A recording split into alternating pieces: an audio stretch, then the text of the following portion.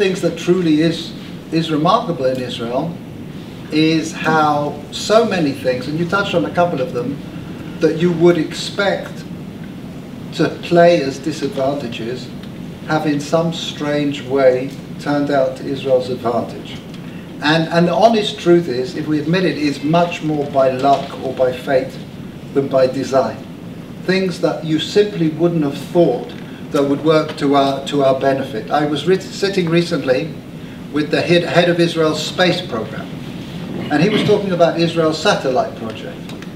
And he says, you know, we have a problem with our satellite project because every country in the world launches its satellites in the direction of the Earth's rotation because that gives you the additional velocity. Only Israel cannot do that because that would mean that we were firing satellites straight over Arab countries where they would be shot down. So many years ago when we were thinking about this, we realized that we had to actually launch them against the Earth's rotation over the sea. And that meant we had no choice other than trying to develop very, very small micro-light satellites.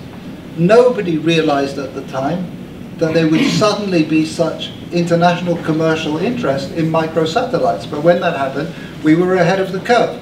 And so again, in a strange way, a lot of the things that you were pointing out, like you talk about the arms industry, the fact that we have to send our kids into the, to the military, which you would normally imagine, that not sending them to universities um, in those crucial years would be a, a tremendous price to pay.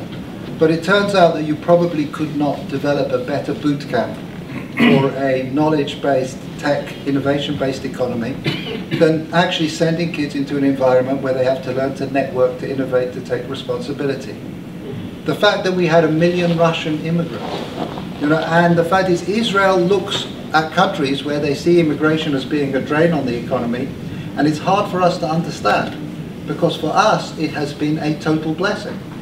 Having this large number of of very talented Russians come to the economy to take up engineering, innovation posts, and so on and so forth. The fact that we didn't have any natural resources to speak of, and the fact that Israel has recently discovered gas and possibly some oil, is a double blessing for Israel. It's a blessing that we found it, but more than that, it's a blessing that we didn't find it earlier. Because if we had found it 20, 30, 40 years ago, then it could very easily have lured us into a sense that we can reply, rely on fossil fuels and natural resources, and this sense that we have no choice but to try and develop intellectual creative resources. Like the fact that we have no domestic market to speak of. You know, the fact is, one of the reasons why Israeli startups are inherently international is you cannot make it if you only think in a national sense. You know, you actually have to start off with the possibilities of being, a, you know, an international international development, so on and so forth. The fact is, for decades, Israel's security thinking was predicated, its defense strategy was predicated on three principles.